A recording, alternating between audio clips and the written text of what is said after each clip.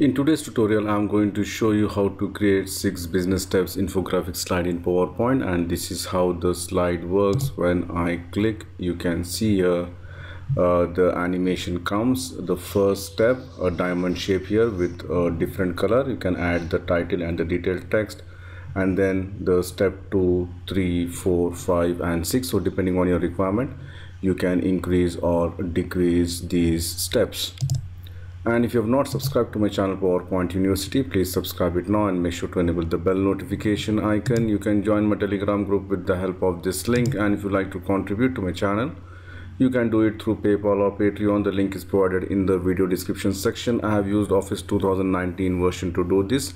If you're using the older version like 2007 or 2010 some features may not be available. So i highly recommend you to upgrade to 2019 or the latest versions so let's start the tutorial.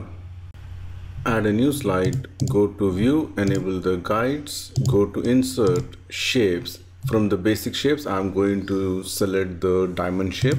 Just click it here and under format, make the height and width as 3 inches and shape outline, make it no outline, then align center, align middle and press ctrl D to duplicate this one change the color to some other color and then I'm going to make the height and width as maybe point 2.3 and this also 2.3 and then again align center align middle. Now what I'm going to do is I'm going to cut this gray part okay? So first select the blue diamond shape and then hold the shift key select the gray one under format merge shape just click on subtract so you end up getting a, a line something like this outline. Then go to insert shapes select the rectangle draw the rectangle covering the bottom part and then I'm going to cut that one. Alright? Or if you want you can just cut the top part also depending on your requirement. So let me just uh, uh, Uh, cut the top part. So first select the diamond shape then hold the shift key select the rectangle merge shape and click on subtract. So we end up getting a shape something like this. All right press ctrl d to duplicate and keep it here for the later use. So now i'm going to select this press ctrl d to duplicate and then go to format rotate i can rotate flip vertical and I'm going to place it exactly here. Just uh, zoom in and make sure that it is properly aligned all right? So once this is done I'm going to cut some part from this place. So for that go to insert shapes select the rectangle draw the rectangle. Shape outline no outline shape fill you can give any color. And if you want you can go to format shape and increase the transparency also. So we know exactly how much we are going to cut that one. All right so now using this one i'm just going to you can see here this much part i want to cut. All right so now what i'm going to do is i'm going to select this one hold the shift key select this one merge shape and click on subtract all right. Again i'm going to duplicate this press ctrl d to duplicate this one and keep it aside for the time being. Then i'm going to remove this select this one press ctrl d to duplicate. Again i'm click on rotate. And you can just do one more flip horizontal and then just put it like this. So i end up getting a shape. You can see here something like this all right? Again as I said make sure that if you zoom it you have to if you see here it is not properly aligned I need to align it properly all right? So this looks perfect for me. So this one shape is ready. I'm going to move this aside. You can see here something like this all right? And then what I'm going to do is I'm just going to select this shape which I have copied and then I'm going to put it here. Let me just move this aside a little bit. You can see here some design like this and this one which I have copied I'm going to select that one. I'm going to rotate it flip vertical and flip horizontal. Okay if this is not I don't want this to you know to go and merge with this one. So what I can do is instead I can just select this also and I can copy it here. So I don't need this one at all. So let me just do this proper alignment. And then you can see here I can select both of this hold the control shift key together and give the equal spacing something like this. All right now if the size is big what we can do is we can select this one press ctrl g to group it hold the shift key and reduce the size. Something like this you can see here. All right and once this is done again i can group ungroup this one. Then what i need to do is i need to select this part and copy it there. All right so let me just select this also. Press ctrl d to duplicate ctrl g to group it then go to rotate and I can make it flip vertical and then flip horizontal and then I'm just going to put it here. And you have to just make sure that the equal spacing has to be there here. So once this is done I can again if I want I can group it or let me just group this one one by one. Press ctrl G to group it so that we don't have any problem at the time of doing the alignment. You can see here now I'm just selecting all this and make sure that align top alright and then align distribute horizontally. So equal spacing has been given. And now shape fill you can give any color of your choice. So once this is done I'm going to add a diamond shape here. Go to insert shapes.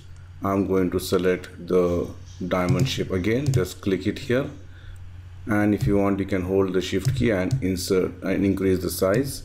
Alright and shape outline make it no outline. Let me just zoom in. And hold the control shift key. You can see here you can just add it one by one something like this. Now depending on your requirement you can give any color of your choice. You can see here I'm just giving some different color combinations.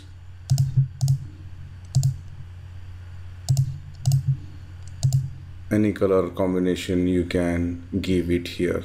Alright so maybe I'm going to give uh, some other color. This one.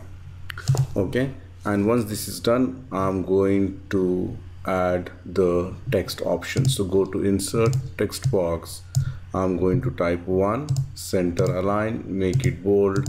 I'm going to choose the font open sans or any other font of your choice. And then just put it here. Hold the control shift key. Then this is the second one. Add for each diamond the number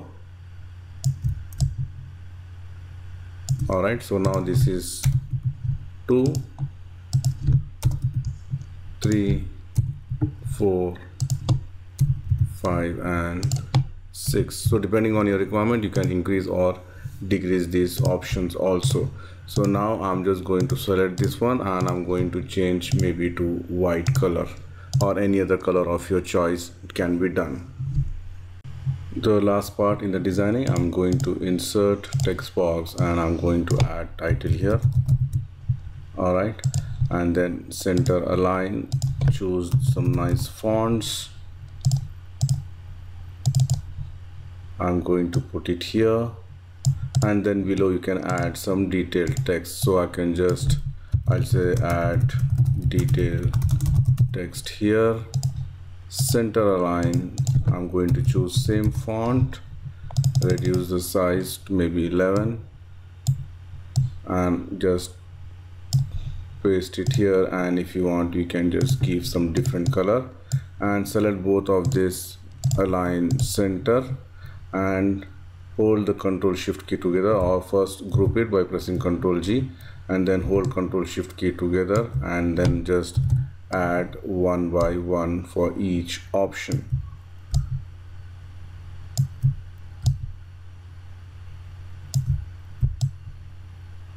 You can see here something like this. Let me just remove the guides. All right. So now our design is ready. It's time to add the animation. So to add the animations go to the animation enable the animation pane. I'm going to select these first these outlines and then add animations. You can go and select the wipe. All right wipe make it from left something like this. And if you want you can make it after previous also. And then this also I'm just going to group it one by one. The diamond shape and the number. You can see here I've just group it and then I'm going to select all of these.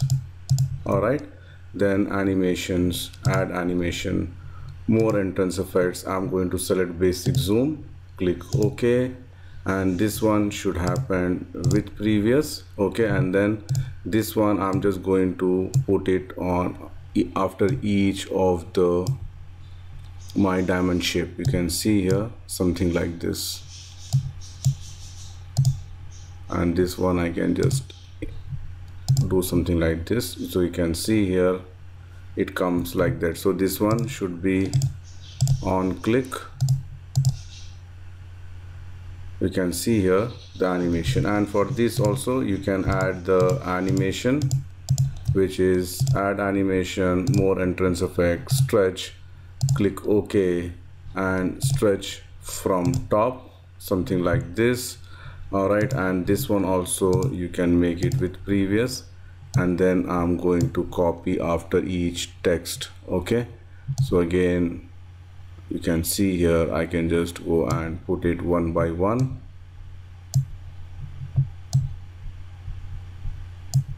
Like this alright so if I play now it comes like this